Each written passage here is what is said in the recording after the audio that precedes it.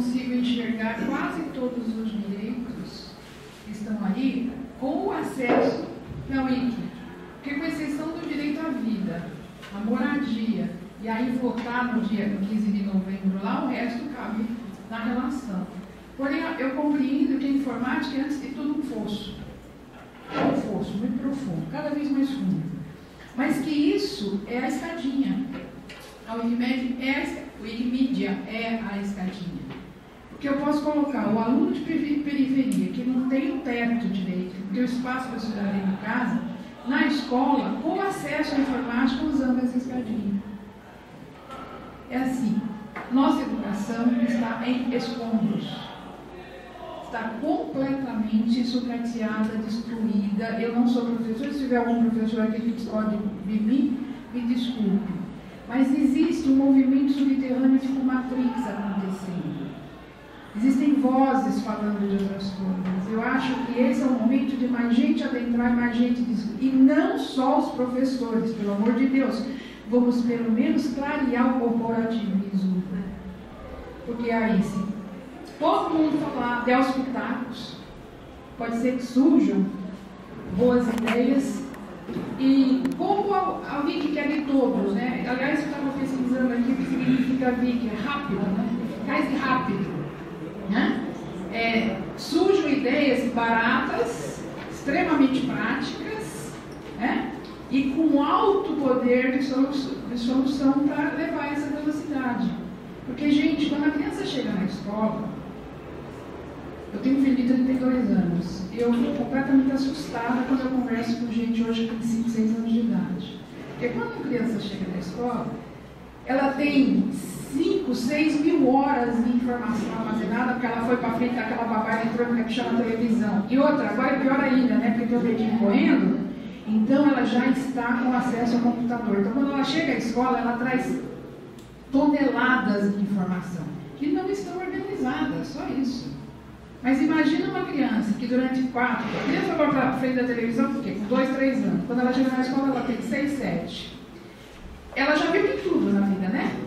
O que podia e o que não podia. Ela vai para frente da, é, da professora e a professora faz para ela assim, olha, ba, be, bi, bo.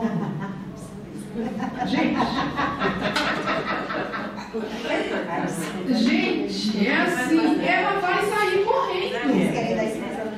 Então, o uso, eu acho que o uso de uma ferramenta como essa, e novos paradigmas que estão chegando na educação precisam ser ouvidos, principalmente por gente jovem chegando à escola.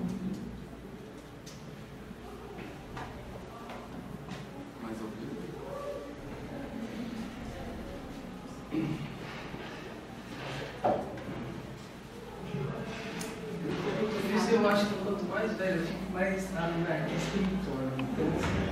É, é assim, é, esse conceito, esse conceito eu, de colaboração, né, esse conceito colaborativo, vou voltar à escola, como vocês estudaram, porque é, tem um, exemplo bem interessante lá.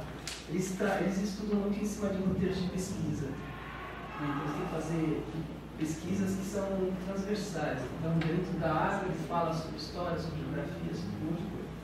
E um dia, o, professores que elaboram os roteiros, as crianças falaram, poxa, a gente não tem nenhum roteiro sobre aves.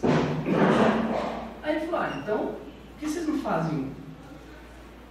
Como assim? É, faz um roteiro, ó, se tem esse, esse, esse livro, vocês podem pesquisar aqui, que roteiro. Eles criaram, apresentaram e o roteiro foi incorporado nos roteiros da escola oficiais. Quer dizer, é muito fácil de usar, é muito fácil de fazer.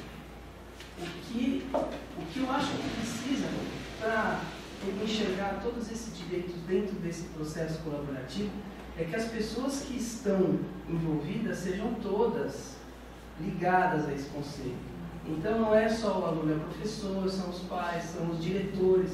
A gente pega diretores de escola que não tem capacitação nenhuma para estar tá ali e fazer a gestão daquele processo. Ele vai lá, e faz só o dia a dia dele, normal, e ele só quer ficar naquilo, ele não quer sair daquilo. As pessoas não querem abrir o leque e fazer essa anarquia toda. Então, quando ela fala que a escola está em escombros, a educação está em escombros, eu acho que é assim. Vai ser bom que ela caia de uma vez Porque aí as pessoas mudam. Quando, a, quando a coisa vem e você começa a ver as coisas caindo por cima de você, aí você provoca essa mudança e começa a enfrentar as outras coisas que vem por trás e consegue ser criativo. Né? A gente é criativo quando a gente está com a corda no pescoço. Né?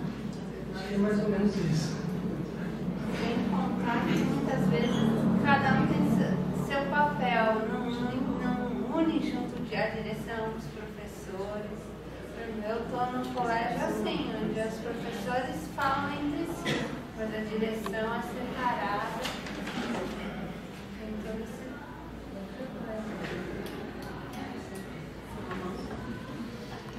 Oi. É, boa tarde. Sou Salomão. Eu tive na abertura e não pude estar no primeiro, quer dizer, no segundo momento, né? Foi há duas semanas. Eu queria é, trazer também alguma reflexão sobre essa questão da relação entre produção colaborativa de conhecimentos e o marco de referência com o qual nós trabalhamos aqui na ação educativa, que é o marco de referência dos direitos humanos contemporaneamente pensados, não os direitos humanos do início do século passado. Né?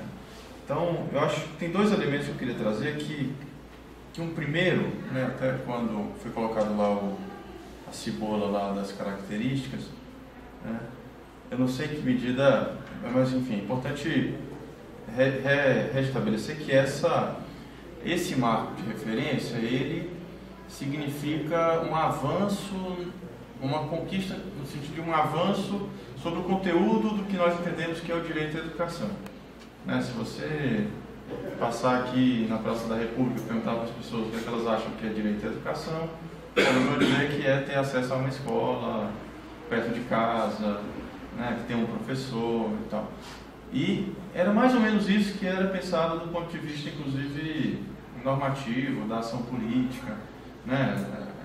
Direito à educação se resumia basicamente a assegurar a educação obrigatória e gratuita para aquelas crianças e adolescentes na idade escolar, às vezes estendendo para a educação de adultos.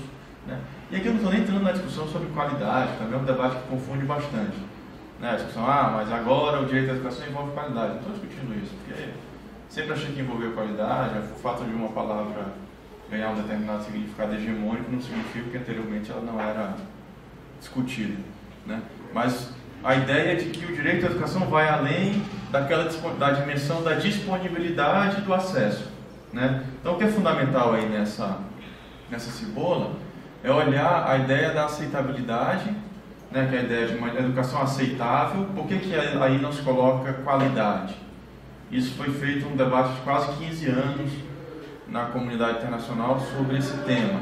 Né? Porque nem toda nem toda educação de a discussão sobre a qualidade, né, significa aceitabilidade do ponto de vista social. É uma parte, inclusive, do movimento educacional tem defendido a ideia de qualidade social com esse sentido que, olha, o que é, o que é, qualita, o que é qualitativamente aceitável é aquilo que é legítimo também do ponto de vista de determinado projeto político, social e pedagógico.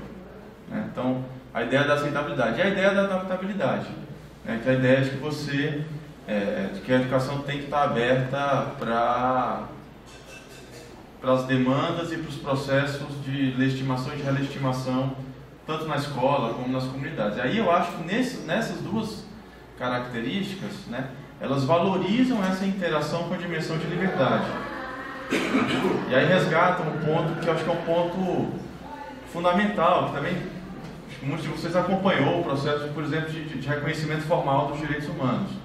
Né? Ali no processo da Guerra Fria, você tinha o campo de defesa das liberdades, em tese, entre aspas, né? no bloco capitalista, e a, que, que, que, que, dizia que olha, os direitos humanos são, são as liberdades públicas e os direitos civis. Né? Através das liberdades públicas e dos direitos civis, o povo é capaz de deliberar, inclusive, sobre a garantia dos direitos sociais, econômicos, enfim. E o outro bloco que dizia, não, os verdadeiros direitos humanos são os direitos humanos econômicos, sociais e, e sociais, os que promovem distribuição, porque esse bloco aí que diz que os direitos humanos são as liberdades, tal, no, fim, no, no final das contas, como resultado, como resultado político do capitalismo, o que, o que existe é desigualdade, né, falta de acesso aos bens básicos da sociedade. Então, esse debate